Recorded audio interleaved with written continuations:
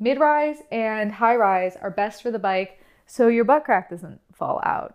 I don't know, something to think about. The leather is a really fantastic material. Leather is much better than regular denim, that's for damn sure. It's the choice of motorcyclists for a reason because leather is really fantastic in protecting your skin. Why not shred this skin first? I wear them when I want to be Jim Morrison. It's got pockets. Bitches love pockets. It's got pockets everywhere you need it. It's got this uh, accordion back, so when you lean over, your butt's not hanging out. And it's also a mid-rise. I think you might have noticed that all the pants so far that I put on are high rise or mid rise. That just works better for the bike. Even though low rise is coming back in a big way,